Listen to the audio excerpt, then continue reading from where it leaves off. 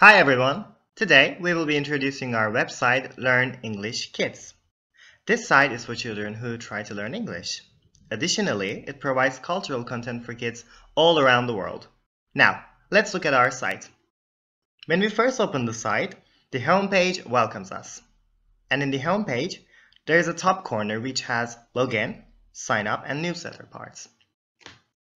In the home page, there's a menu bar. You can click on the buttons to go other pages. Under the menu bar, there's an actual section. In this section, we can find some subsections, such as watch a video, read a story, play a word game, or write a comment. In this section, content usually changes and replaces new ones. Next section is for newcomers. There is some information about the website. In this section, the contents of the sites are briefly mentioned, such as games and songs. At the bottom of the page is a section for you to write your comments. On the right side of the page, there's a section which you can find English courses near you. You can find many countries among the, among the options. Under this section, you can find help and support. You can access information which you want in these subtitles.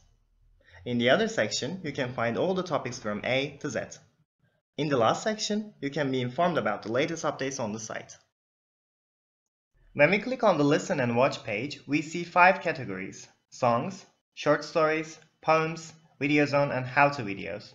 When we open the song page, we can see several song options about our topics. For example, if we click on the first one, A Bear Named Sue, we see a preparation part. If you click on it, preparation vocabularies are opened. There are vocabularies which are about the song.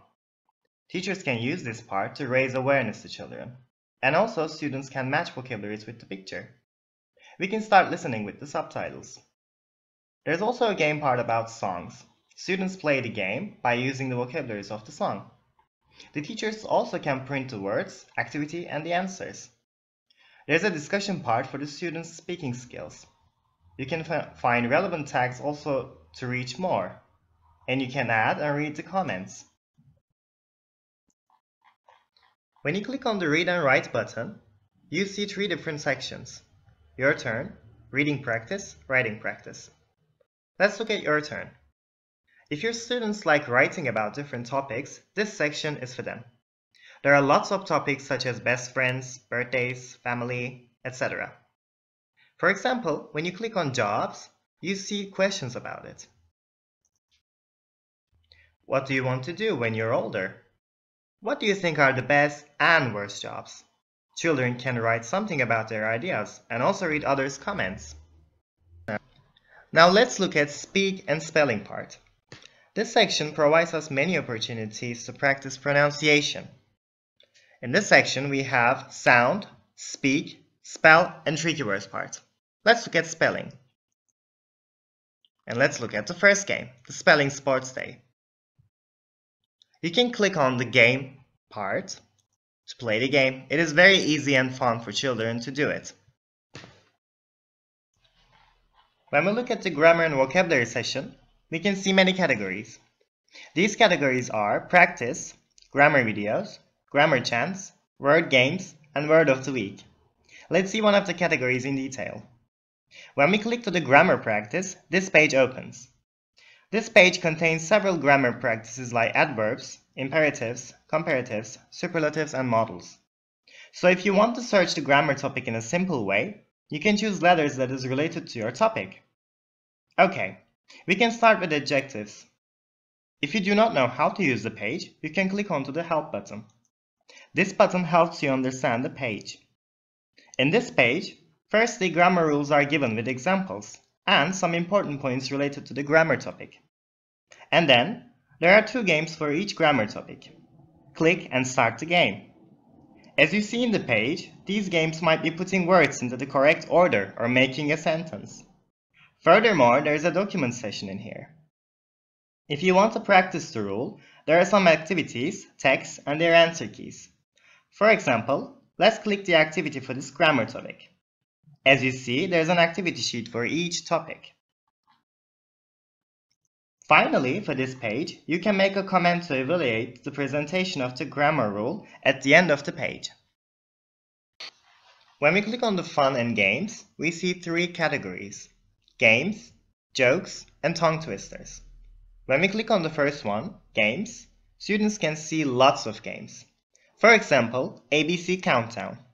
You can start the game and make discussions. And also students can reach much more relevant tags.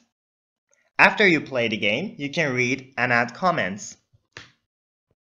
Let's move on to the other category, print and make.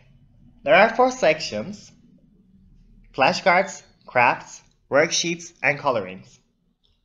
In coloring section, there are some pictures from many different topics including people, places, and different times of the year. You can click on one of them. After you print the picture, you can color the picture according to instructions given in the paper. Our last section is the parents section. As the name suggests, it's for parents to be involved in education.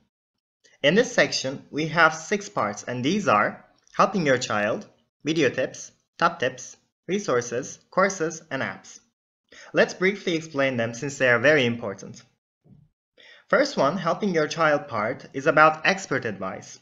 Parents can find related researches about raising a child or about education itself. The second one, video tips part, is the visual version of the helping your child part.